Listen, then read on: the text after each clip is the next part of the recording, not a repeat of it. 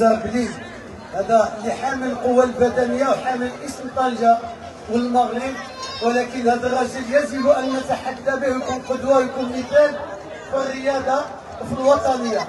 هذا رفض أنه يطلع منصة وطلع رفض أنه ياخذ الجائزة بعد ما رفضوا النشيد الوطني الإفريقي في جنوب أفريقيا.